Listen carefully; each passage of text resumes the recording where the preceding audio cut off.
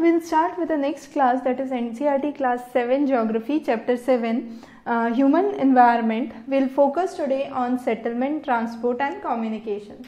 Now the first topic that we'll start is settlements. Now what are basically settlements? Settlements are the places where people build home. Now these could be of various types I could say. Previously people used to live on trees or they used to live on in caves then started the trend for kacha houses and finally there was a trend for pakka house or a permanent house. Now where these permanent houses started? That's a most important question. Let's start with the map of India. You have the Ganga river that was flowing through here and you had the desert areas which were here. Now if I ask you a simple question where it is more likely that people would settle your obvious answer would definitely be along the river track because you have more agriculture, you have a kind of way for transportation or moving from one place to another, so on and so forth. So that means rivers, fertile areas and water sources were the main areas where settlements started. So all the previous settlements, if we talk about the historical aspect, you have the Harappan civilization that started along the Indus Valley then you have the Mesopotamian civilization in Iraq and Iran. Then you have the Nile Valley civilization that started in uh, the regions of Egypt in Africa. So all these were the areas where you had settlements that started. So settlements primarily started near and around the water sources and the availability of water. Once there was one settlement that started at a place there were nearby settlements which were driven or which were supported by that settlement.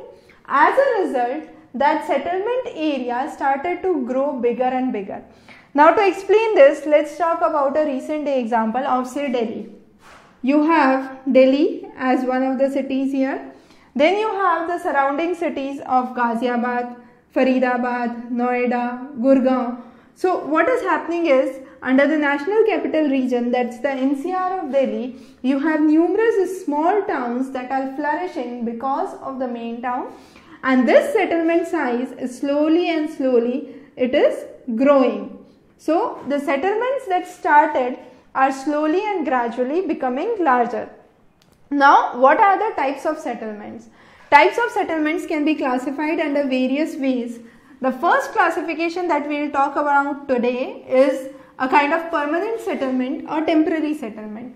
When I say permanent settlement, that means the houses could be built of cement, bricks, concrete. So you have a kind of permanent permanency in the settlement behavior that is fixed or that is immovable. However, on the other hand, you have temporary settlements which are occupied for a short duration of time. Such settlements exist in forests, deserts and mountains the main people who are engaged in such activities are uh, people who are hunting and gathering food. Uh, then you have people involved in shifting cultivation. Now, before we understand shifting cultivation, we must have a mean, uh, understand the meaning of this term.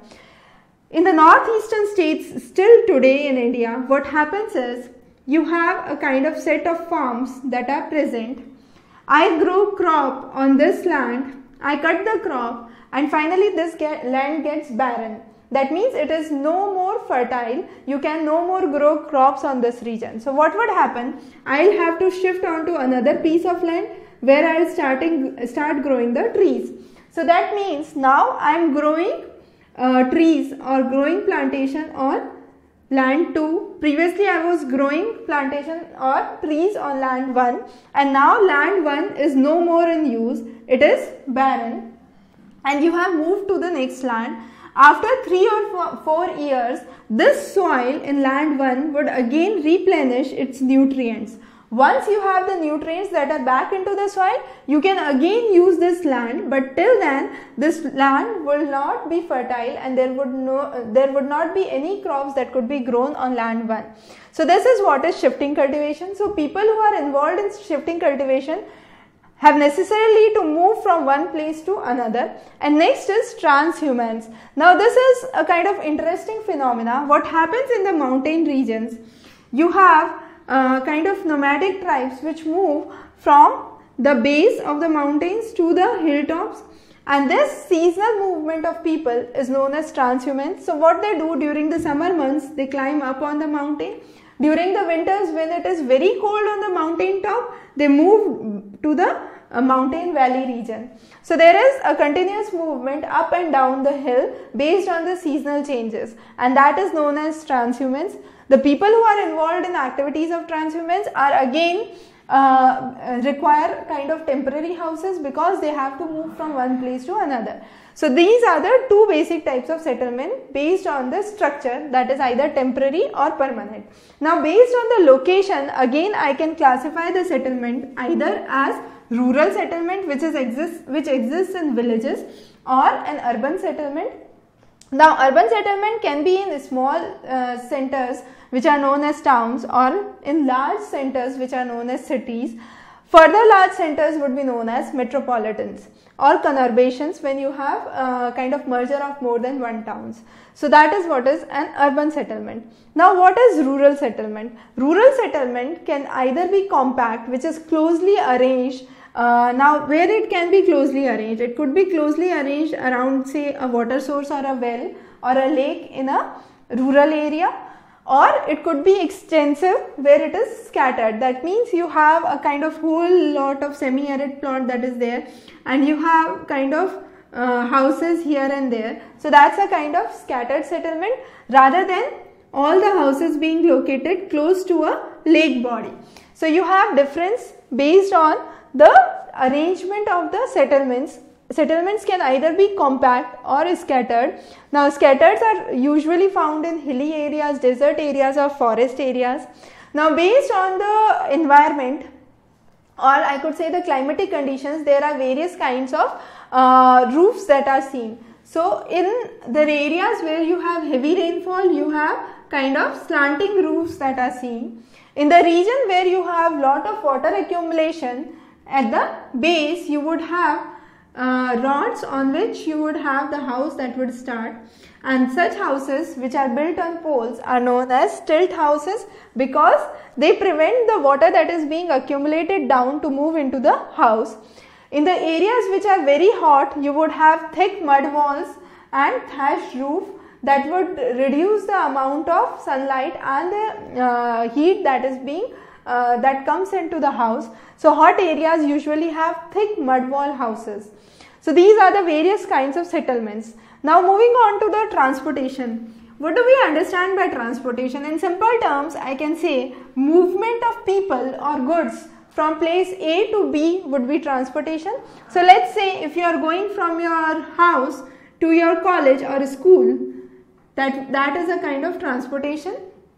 So any movement of person or good from place A to place B would be transportation. Now this transportation can occur by four ways. It can occur by road, it can occur by rail, airways or waterways. So these four are the common ways of transportation. Now before these ways were devised, what was the primitive ways in which people transport uh, moved from one place to another? Earlier people either used to walk or they used to carry goods by uh, goods on the back of animals say uh, on the back of donkeys, mules, camels or bullocks uh, in the temperate and the tropical regions. If I talk about South America, it was with the llamas. If I talk about Tibet, it was on the back of yaks that they used to carry goods from one place to another. Slowly and gradually with more of invent, uh, inventions, there was an important invention that took place that was invention of wheel. Once wheel was invented, it became faster to move from one place to another. And based on that, you have the four basic transport ways that we will further discuss that were started. Now let's talk about the first that is roadways. Now how do you move on road? Road is mainly used for short distances. So for short distances you have uh, roads that are used. Now roads could either be underground or as overfly. So you can have either a road that is going here or a road that is going below the surface. This below the surface would be known as subway or underpath. The one that goes above the surface would be known as the flyovers. Now metals uh, roads can also be either metalled which is pakka road or kacha road that is unmetalled road. Now Manali Leh highway in India is among the world's highest roadways that has been built in India. Now next is the railways. What is the benefit of railways? Railways can move over longer distances. They are cheaper than roadways. Now with the advent of industrial revolution, the previous, uh, the first revolution that the world witnessed was the agricultural revolution. Then you had the industrial revolution. With the advent of industrial revolution, you had steam engines that came into prominence. Slowly and gradually from steam engine we moved to diesel engine and finally to electric engine and now we do have super fast trains. India's rail network is largest among the Asia's uh, network. However, the longest network in the world is the Trans-Siberian Railway line which moves from St. Petersburg to Vladivostok in uh, Russia. So, you have Trans-Siberian Railway line which is the longest railway line that exists in the world. The next is waterways. Among all the sources that we have quoted, waterways is the cheapest source and it can carry goods for long distances. You can have two ways of waterways. Either it could be an inland waterway that moves within the rivers or within the country itself or you can have sea routes that help to move from one country to another say from India to America. South America you have a kind of sea route but within India you would have an inland waterway. Inland waterway could either be navigable rivers or lakes. Examples of navigable rivers are Ganga Brahmaputra in India, Nile river in Africa and example of lakes would be Great Lakes in uh, North America that is United States. So you have five Great Lakes we call them as homes. Huron, Ontario, Michigan, Erie and Superior and you have Niagara Falls, River Niagara which connects Oreo, uh, uh, Ontario and Erie Lakes. So you have kind of navigation that moves along the various lakes. Now you have sea routes which moves from one country to another. Then you have major ports that are being established. For example, in India you have Mumbai, Los Angeles in United States, you have Singapore, Sydney in Australia and Rotterdam in Europe. So these are some of the major and important uh, ports that you must know. Now finally airways. Airways among the all is the fastest means of transport. However, it is the most expensive and this is expensive because of the higher cost of fuel that is involved in air transport. Again, air transport is affected by fogs and storms, uh, but it is a boon for the areas which are inaccessible, the hilly terrains, let's talk about the regions which are inaccessible. So you have uh, helicopters that can land on the inaccessible terrains. Again, it is a boon in case of natural calamities, in case of earthquakes or cyclones that hit a region. Airways prove uh, means to rescue the citizen, provide food, clothing and shelter facilities or transporting people from the disaster area to another area. So airways is again important in case of natural calamities. Now last is the means of communication. We have talked about settlements, transport. Now we move on to communication. What is communication? Communication is basically conveying message. I have a message, I want to convey it to you. What are the various ways I can do it? I can either uh, send it through a written post. I can release those as print media in the form of books. I can release those as electronic media uh, through internet, through emails or through uh, YouTube that's uh, videos. So there are various ways. However, when this communication process started, it was mainly the messages were sent by birds of which pigeon was the most commonly used bird. So you had uh, you you were uh, to stick a uh, message to a pigeon and it would fly to another place and take your message. So that is how messages were transported in ancient times. Then you had postal system that came into existence. Finally, you had the print media and the electronic media. Now, what is mass media? When we want to communicate to large number of audience, we use a media which is known as mass media. Common examples are newspapers, radios and television. Again, nowadays what has come into light is a wireless technology which, which is without wires.